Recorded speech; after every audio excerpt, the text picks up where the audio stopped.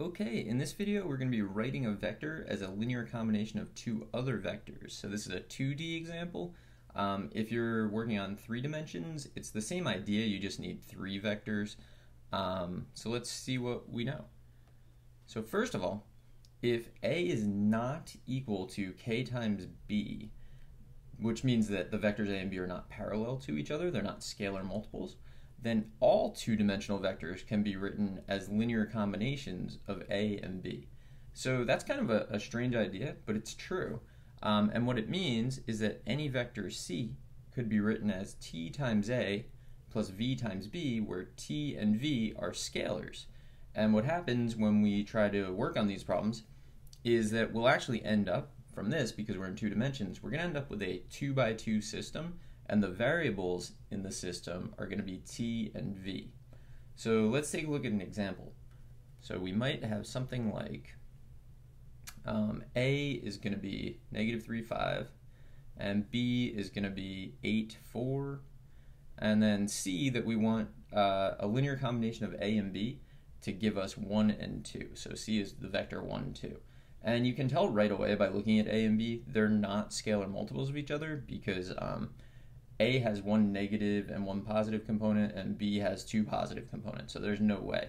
Or you could do 8 divided by negative 3 does not equal 4 divided by 5. Um, there are a lot of ways to show they're not scalar multiples of each other, but they're definitely not. So let's uh, set up our equation. So the equation we want to deal with is this, right? We want C to equal T times A plus V times B. And then we're going to try to find T and V. So substituting in, we get this and it should equal 1, 2.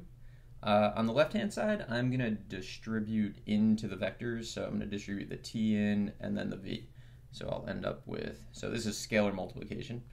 Um, so I end up with this. And then I'm going to keep cleaning up the left-hand side. Uh, once you've done a couple of these, you pretty much skip all of these steps. But uh, so it's, uh, I'm going to add corresponding components. So I end up with a vector negative 3t plus 8v and then uh, 5t plus 4v. And then this still equals 1, 2.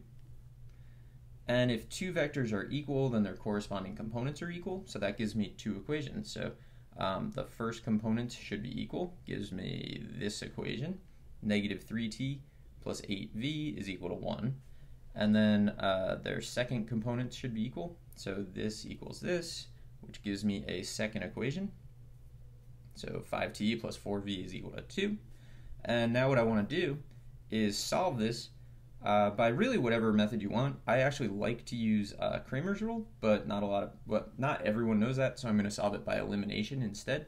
So I look at this, uh, if I multiply that bottom equation by negative 2, I can just add them together. It'll eliminate v.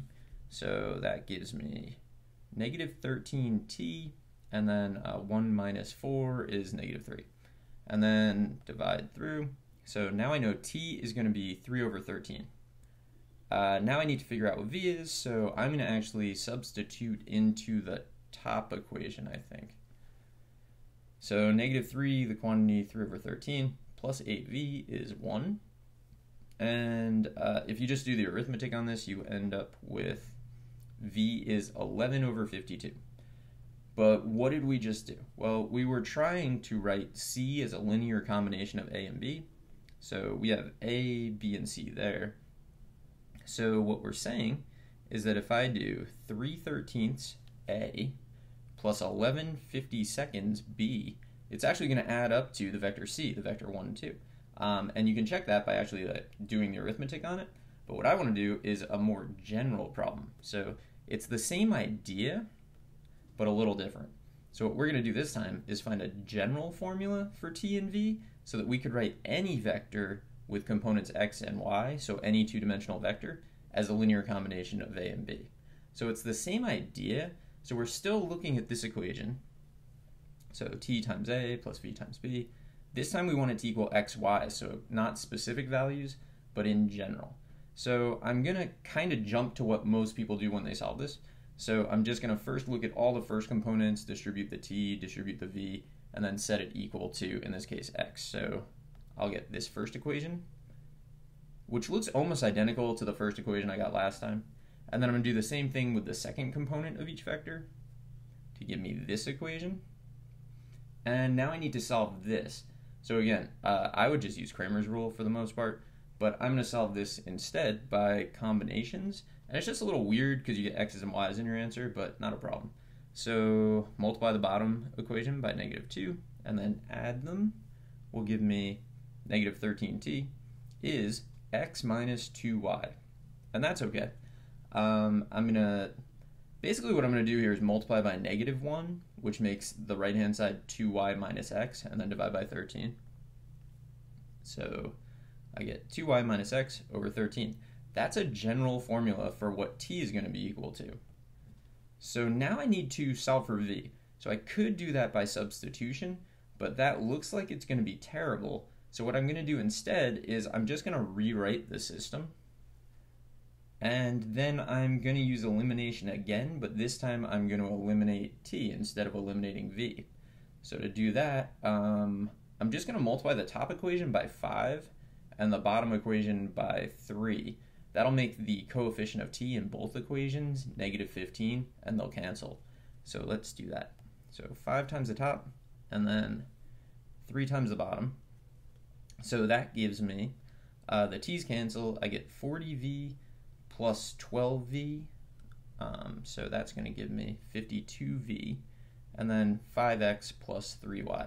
So it's not really that bad if you do it this way. Substitution is kind of a lot harder on this particular problem.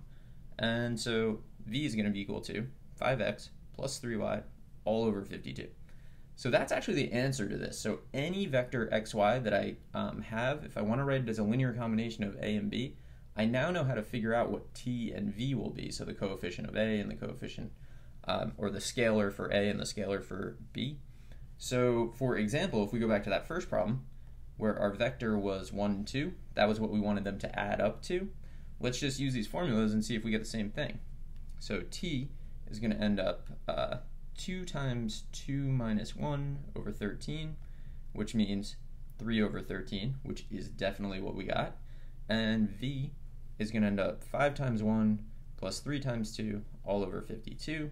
If you work that out, you get 11 over 52, which is exactly what we got. So these formulas are working. Um, all right, so that's the general idea.